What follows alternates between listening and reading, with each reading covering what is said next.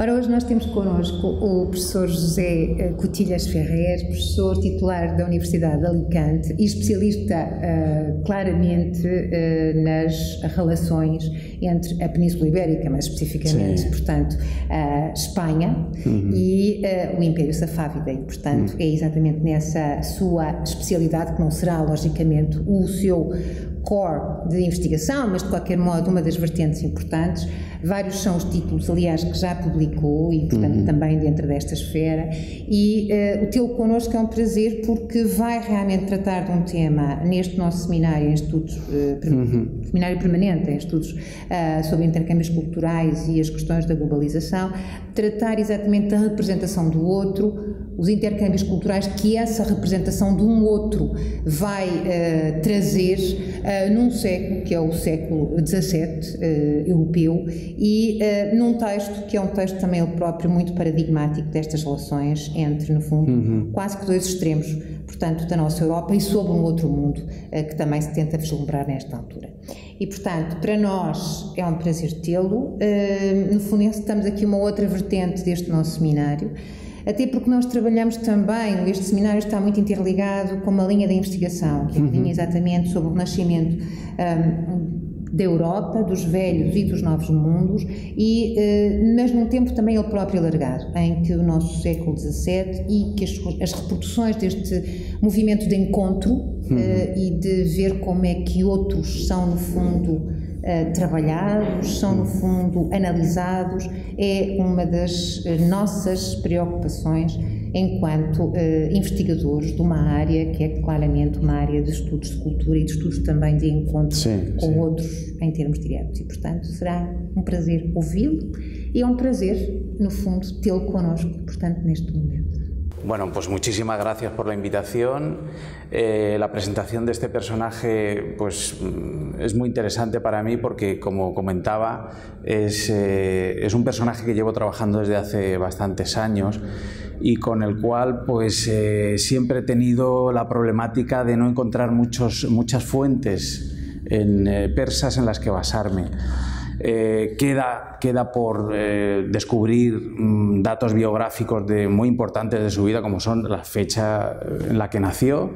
Y lo que más, lo que más eh, vamos, la, más importante fuente para, para, tener datos sobre su vida son sus mismas relaciones, la misma crónica que él, que él bueno, pues, publica y bueno, pues en ella misma encontramos muchos detalles que nos hacen eh, situar a este personaje dentro de lo que es el ámbito cortesano, el ámbito eh, de la corte de Shah Abbas, en, eh, primero en Tabriz y posiblemente después también en Kazvin.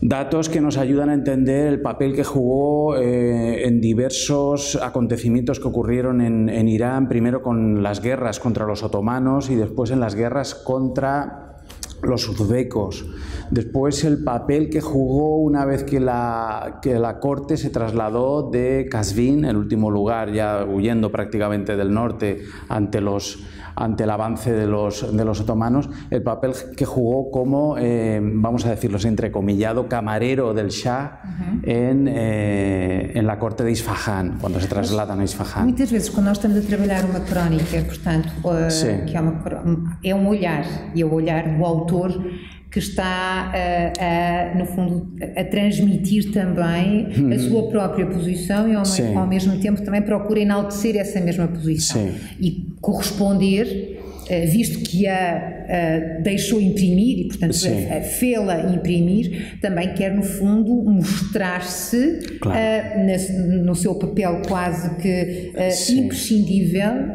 relativamente aos acontecimentos que vai narrando e à forma como hum. vai narrando. Portanto, e também dar resposta, no fundo, a uma certa curiosidade claro, claro. que, na altura, passa sobre estes acontecimentos. É? A repercussão da obra. Sí, queda, queda, la duda de, queda la duda de si lo que nos está transmitiendo es verídico verídico o no, pero también es cierto que él participa o es nombrado para participar en esta embajada porque eh, tiene una posición dentro de la corte. Por lo menos su padre tenía una posición dentro del ejército muy importante. Entonces, eh, es tal vez ese motivo, ese elemento, el que nos permite, em, no siempre, pero en muchos apartados de su obra ver que está narrando o es, es una narración verídica. En otras circunstancias, y ahora después lo, lo, lo veremos, pues hay dudas, claro que hay dudas.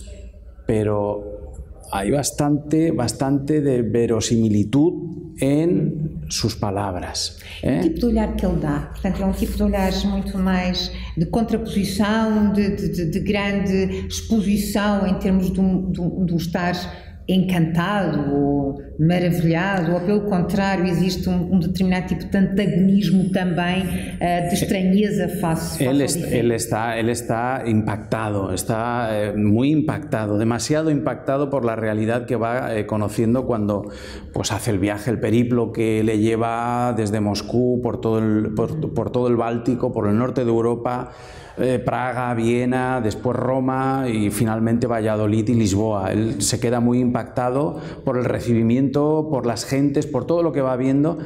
Y ojo, él tenía el cometido, porque Shah Abbas así se lo transmite, de ir haciendo una crónica para después llevarla a Irán. Claro, pues, Es decir, que, que claro, al final lo que hace es una crónica, pero no para Irán, sino para los reyes de España. Entonces, claro, es un poco, eh, es un poco, es la óptica un poco diferente, pero en el fondo es el mismo objetivo, es decir, transmitir una idea de Irán que es bastante verídica, es bastante verídica. Hay algunas cosas que no, no tanto, pero es bastante verídica. ¿eh?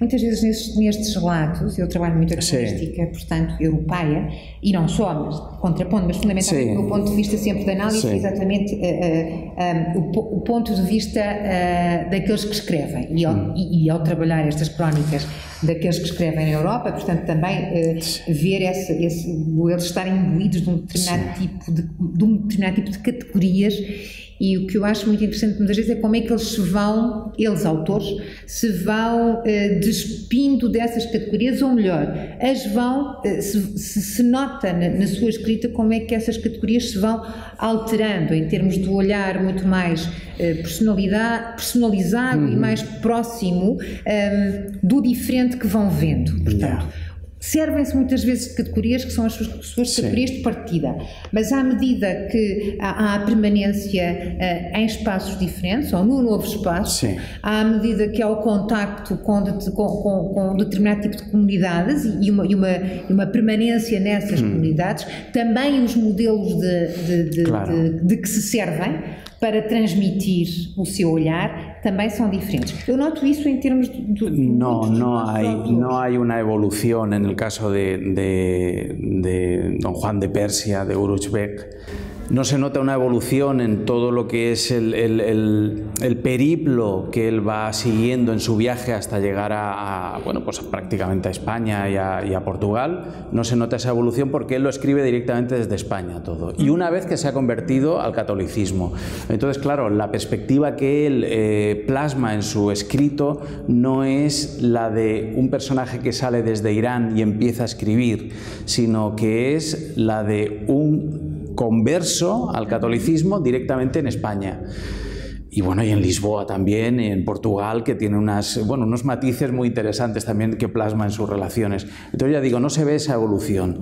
De todas formas, él, bueno, pues eh, desde un punto de vista crítico hace eh, un análisis de la realidad y de las costumbres, de la corte, de la historia de Irán, que muchas veces pues no es tan crítica como parece, es decir, todavía tiene, bueno, pues él es iraní, ¿no? Está claro que no, eh, no, se pone en contra de la realidad de Irán ni, ni, de, ni de las creencias en Irán, se le nota un poco, un poco aséptico, eso sí, el momento de su conversión, él está completamente convencido y está convencido porque, eh, bueno, pues ha asistido a, todo lo que son las enseñanzas que le transmiten los jesuitas y él parece que sigue en, un patrón más o menos fijo que se da en, las enseñanzas jesuitas lo que es el proceso de conversión, de la visión de la, creencia eh, vamos, en, el catolicismo. Y es muy curioso porque él lo plasma de una forma muy clara